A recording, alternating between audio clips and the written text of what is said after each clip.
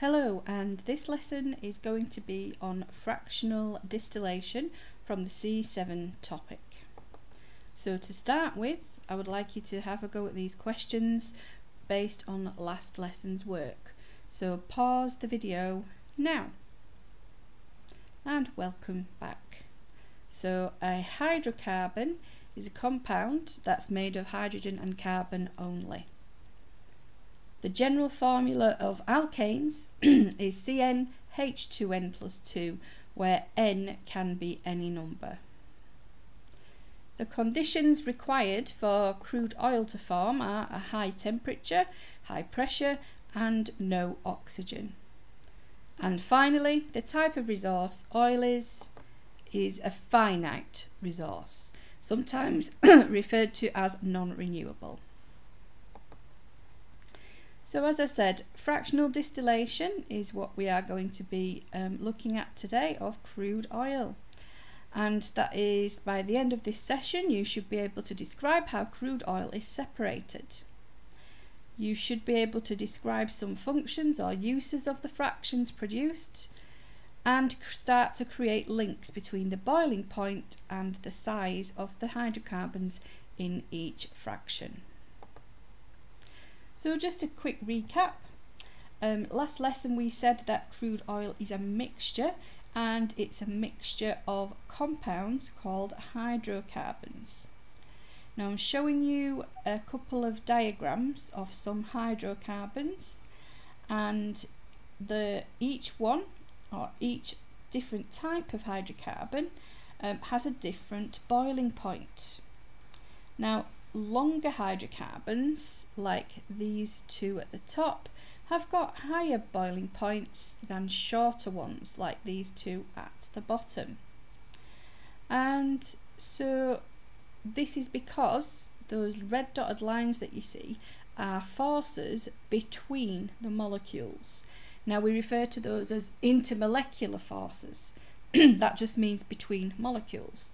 And on longer chain and I mean like carbon chain, um, hydrocarbons, there are more intermolecular forces than there are in the shorter ones.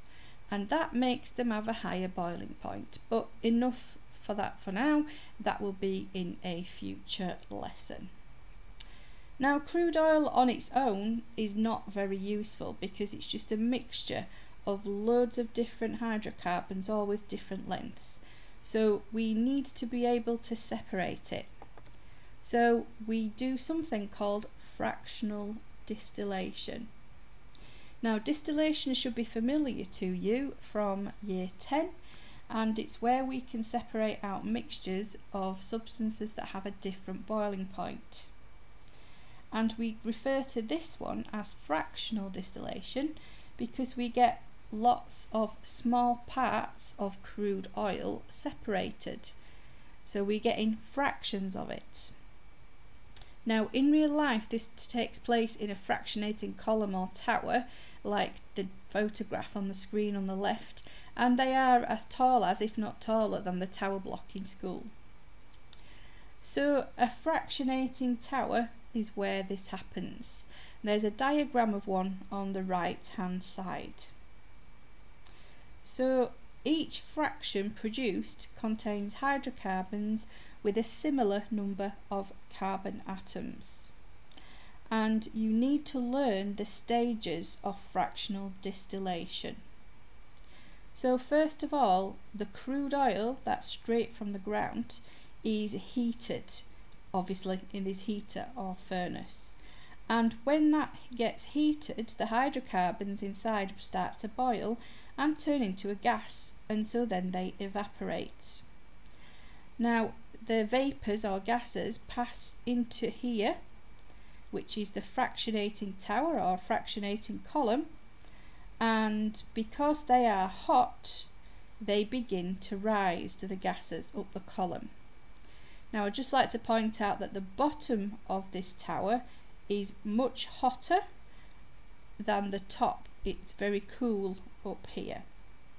So as the gases rise up the column, hot at the bottom, cold at the top, they begin to cool down and they will then condense when they reach their particular boiling point. So just a reminder that condense means that they will turn back into a liquid. So when they turn back into a liquid, those droplets collect and then can be removed from the fractionating tower here on this right hand side. Very long hydrocarbons, remember, have the higher boiling point, so they're going to be removed at the bottom. Uh, but the very short hydrocarbons, some of them, they never reach their boiling point, so rise straight up to the top and don't condense, so they get removed as gases right at the top there. Now the uses of the fractions uh, is very varied, but the most common use is as a fuel. So petrol and diesel, but also kerosene is produced and kerosene is aviation or jet fuel.